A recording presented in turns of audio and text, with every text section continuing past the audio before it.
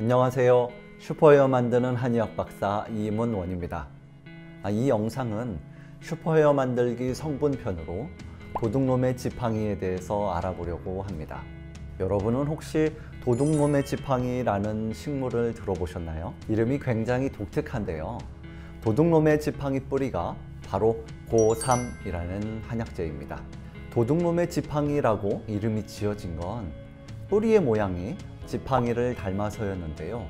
도둑놈이라고 이름이 붙여지는 것까지는 저도 잘 모르겠습니다.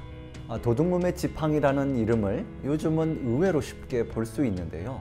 탈모 방지 샴푸의 전성분을 한번 보시기 바랍니다. 도둑놈의 지팡이 뿌리 추출물이라고 적혀 있는 제품이 있을 겁니다. 아, 탈모 방지 샴푸라고 하니까 탈모와 도둑놈의 지팡이가 아, 뭔가 연관성이 있겠구나 라고 하는 생각이 드시죠? 어, 도둑놈의 지팡이, 즉 고3은 한방문헌에서도 탈모 치료에 사용되어 왔던 기록이 있고요. 실제로 다양한 실험에서도 탈모 치료와 예방에 사용할 수 있다고 밝혀왔습니다. 도둑놈의 지팡이 뿌리, 즉 고3은 한자로는 쓸 고자에 인삼 삼자를 쓰는데요. 어, 주로 피부에 생기는 종창, 습진, 상처 치료에 효과적이면서 이 외에도 세균성 이질이나 장염, 간염, 담낭염 등 각종 염증 질환 치료에 쓰였습니다. 아마도 예전에 이질이나 장티푸스, 식중독으로 인한 복통설사에 도둑놈의 지팡이 뿌리를 먹고서 증상이 나아지고 기력이 회복되는 것을 보면서 맛있은 인삼이구나 라고 이름 붙인 것 같습니다. 특히 고3은 두피의 지루성 피부염이나 습진 치료에 많이 활용되었는데요.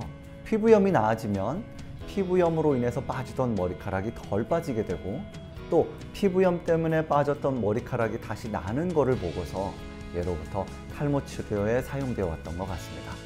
그런데 최근 2000년대 들어서 고3에 대한 연구가 활발해지면서 다양한 실험 논문들이 발표되었는데요. 2004년에 발표된 고삼 추출물이 분자 생물학적으로 모발에 미치는 연구 결과라는 논문을 보면 도둑놈의 지팡이 뿌리 추출물, 즉 고삼이 탈모를 일으키는 DHT 호르몬의 생성을 억제한다고 했습니다.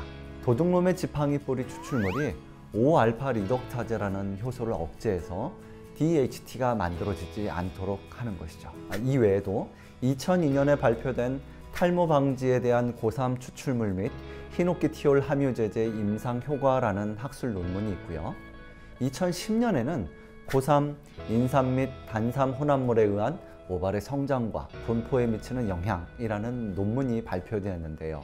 이렇듯 고3이 탈모증 개선에 충분히 활용될 수 있음을 보여주고 있습니다.